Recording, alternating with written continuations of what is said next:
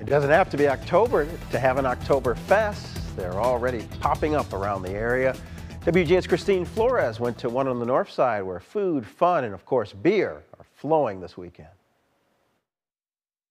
Everything Bavarian will be showcased at Oktoberfest Chicago at St. Alphonsus Church in Lakeview, a parish founded by German immigrants in 1882.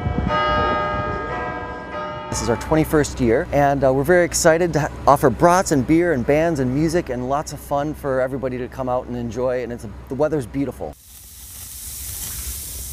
The event returns from noon to 10 on Saturday and noon to 7 on Sunday with its seasonal revelry, which includes their specialty brats. So the recipe comes from a family that moved here from Germany many years ago, generations ago, and so they were they were butchers, and so they had this special Bavarian authentic recipe, and so that's what we still use when we have our brats made for this fest.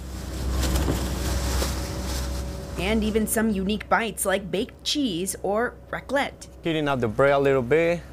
Uh, I'll wait like for around 20, 30 seconds uh, till it gets like a warm. Okay. And we want the bread to be soft a little bit. Okay. Once it's gonna be ready, we're gonna melt the cheese.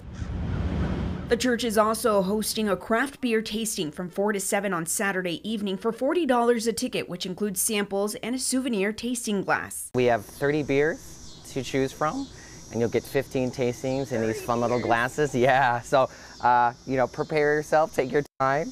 But what we really like to have is a wide selection. So we've got some Oktoberfest beers, we've got some couple ciders, stouts across the board. So it's a really fun event. This on top of two stages with bands like 16 Candles and School of Rock.